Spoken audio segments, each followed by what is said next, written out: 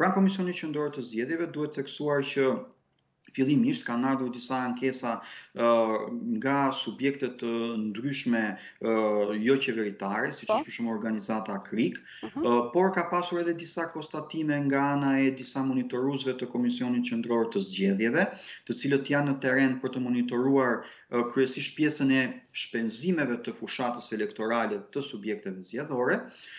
Dhe më së fundi ka pasur edhe nga subjektet politike një ankesë zyrtare për këto billboarde. Ku qëndron ankesa po themi e këtyre subjekteve? Qëndron në dy element. Po. Pra, një në radhë të parë, ka pasur një ankesë duke u përcaktuar që këto billboarde nuk mund të përmbajnë materiale propagandistike, sepse në interpretim të këtyre subjekteve duhet të ketë vende të veçanta të të përcaktuara nga bashkia ose ajo distanca 5 metra nga çdo zyrë elektorale që ka një subjekt zgjedhor. Dhe pjesa e dytë e ankimit ka të bëjë pra me një material që është konsideruar si denigrues mhm.